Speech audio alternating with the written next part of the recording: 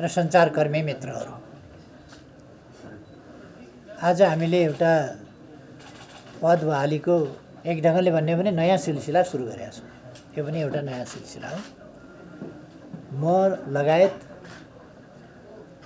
वरिष्ठ उपाध्यक्ष उपाध्यक्षहरू महासचिव उपमहासचिवहरू र सचिवले आज हामीले पद बहाली गरेका छौँ। र यसको अर्थ हो महाधिवेशनको कार्य अन्तिम रूपमा सम्पन्न भएको छ। अब हामी महाधिवेशनका फैसलाहरू तिनीहरूलाई केन्द्रीय कमिटीले गर्नुपर्ने कामहरू र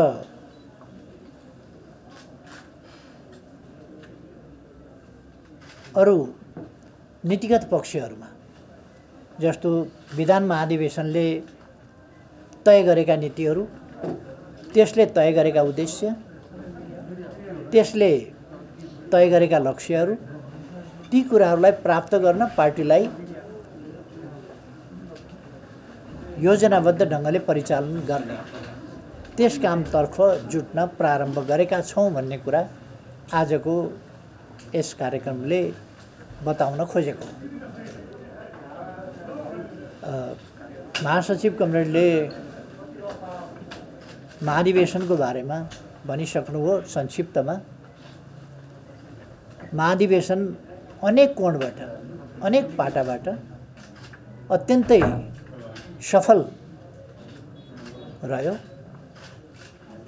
यसले लोकतान्त्रिक अभ्यास सहमतिका अभ्यास सर्वसम्मतिका अभ्यास निर्विरोधका अभ्यास सबै खालका अभ्यासहरू अगाडि बढायो र ती अभ्यासको परिणाम पनि अत्यन्त राम्रो भयो।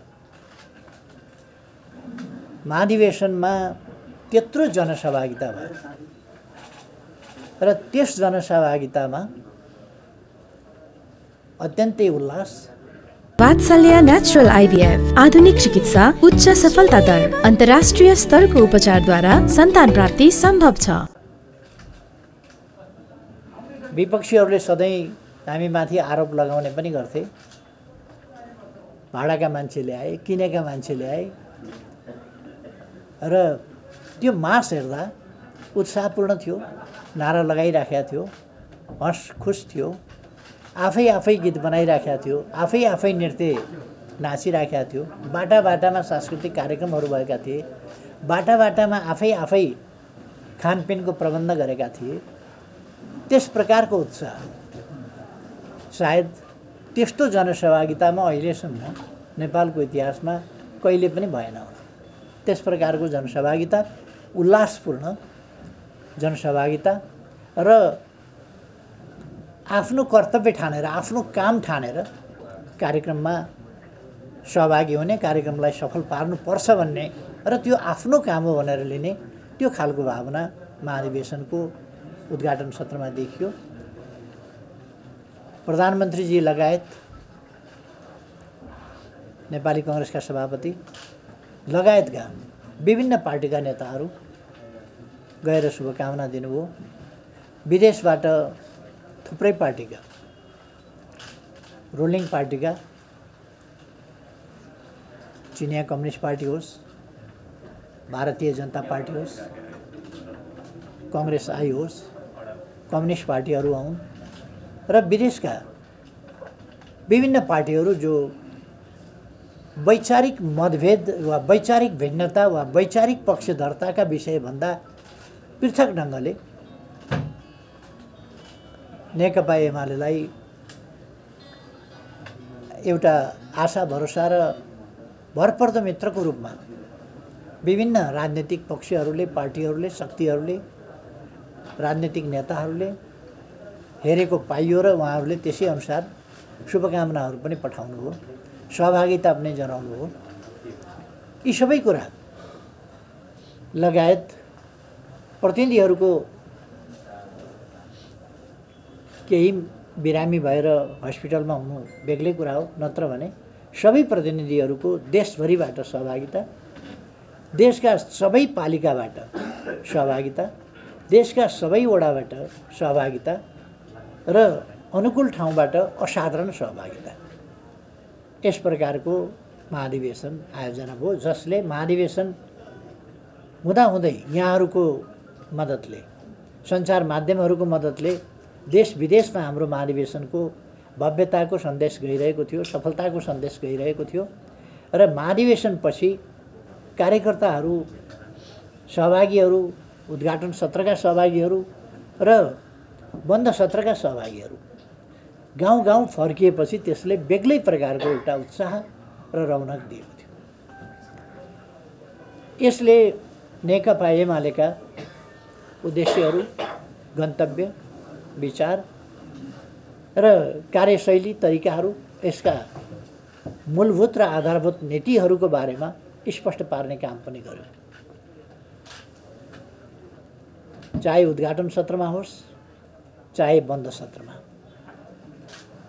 हामीले हाम्रा पार्टीका नीतिहरूको बारेमा स्पष्ट पार्यौँ र विभिन्न क्षेत्रमा हाम्रा दृष्टिकोणहरू के हुन्?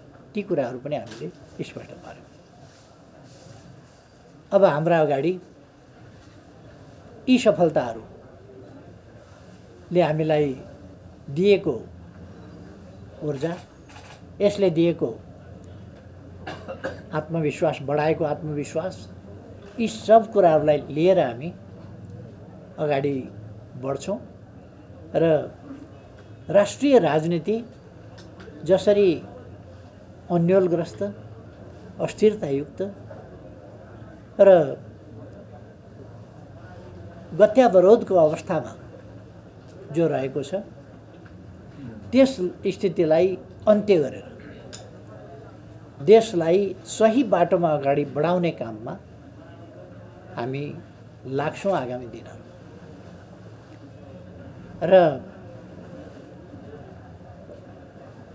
देश अहिलेको वर्तमान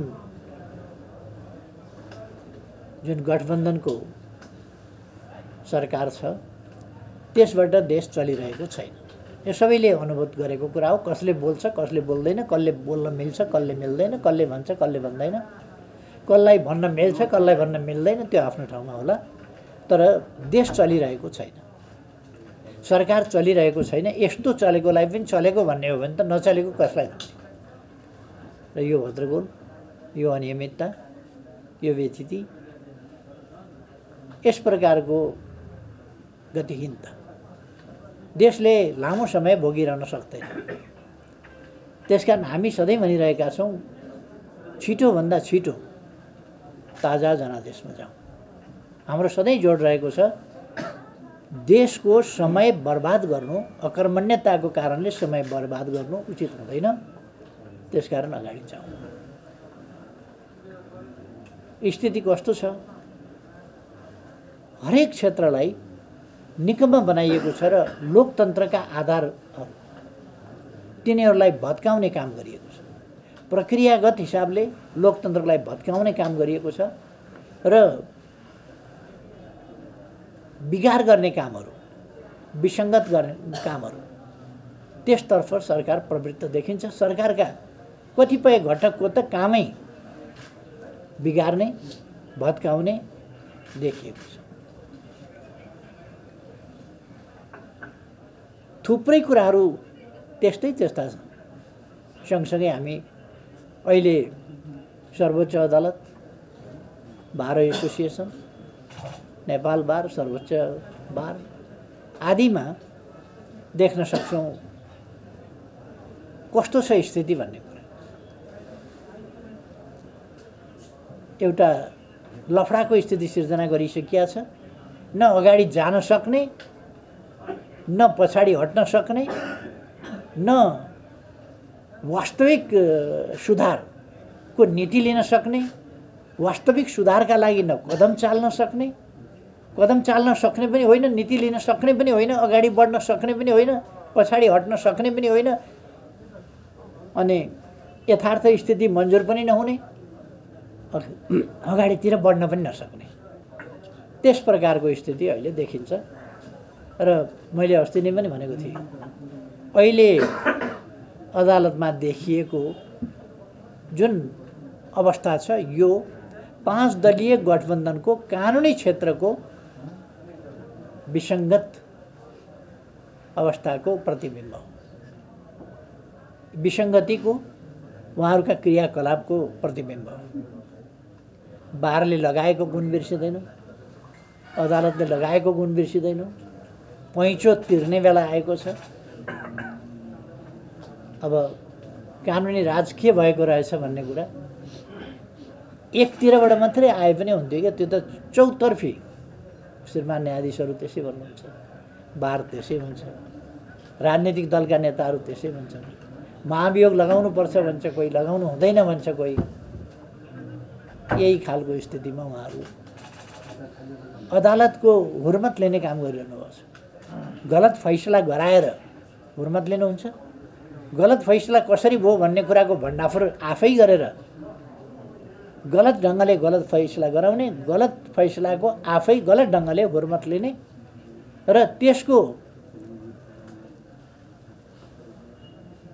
अब उपचार के हो भन्दा फेरि गलत प्रेसक्रिप्सन। अहिलेको प्रेसक्रिप्सन भनेको यो गलत प्रेसक्रिप्सन हो। जुन प्रेसक्रिप्सनले कुनै काम गर्दैन। त्यस ढङ्गले सरकार गरि गइरहेको छ। मैले अघि कार्यपालिकाको बारेमा भने यो देशको समय मात्रै बर्बाद भइरहेको छ। न्यायपालिकाको बारेमा भने बर्बाद मात्रै होइन कि कार्यपालिकाले त बिगार्ने काम गरिरहेको छ। न्यायपालिकाको सबैलाई हामीलाई थाहा छ। व्यवस्थापिका अट्ठाइस गते बोलाइएको छ। किन बोलाइएको? अब त्यहाँ सरकारी पक्ष प्रस्तुत भएपछि त हो तर हामीले निष्कासन गरेका व्यक्तिहरू निष्कासित व्यक्तिहरू संसदभित्र राखेर सरकार चल्न संसद चल्न संसद कसरी चल्न सक्छ? नियमले गैर सांसदलाई सभामा बस्न दिँदैन। हामीले पार्टीबाट साउन पच्चिस गते नै गरिसकिएका व्यक्तिहरू फेरि अट्ठाइस गते आउँछन् भने त्यो कुरा त फेरि हामीलाई स्वीकार्य हुन सक्दैन। यस कार्यमा हामी पहिलेदेखि भनिरहेका छौँ सभामुखजी नेकपा एमालेका विरुद्ध सत्ता पक्षीय गठबन्धनसँग अनुचित अपवित्र गठबन्धन गरेर एमालेका विरुद्ध लाग्नुभएको छ? एमाले पार्टी फुटाउन लाग्नुभएको छ? फुटाउन लाग्नुभयो र उहाँले अवैध ढङ्गले फुटाउन मद्दत गर्नु निष्पक्षता देखिएन निष्पक्ष रहनुपर्ने सभामुखको पद निष्पक्ष देखिएन। जनताका समस्याहरू महँगी बढेको छ। अरू जनताले अनेक समस्याहरू भोग्नु परिरहेको छ।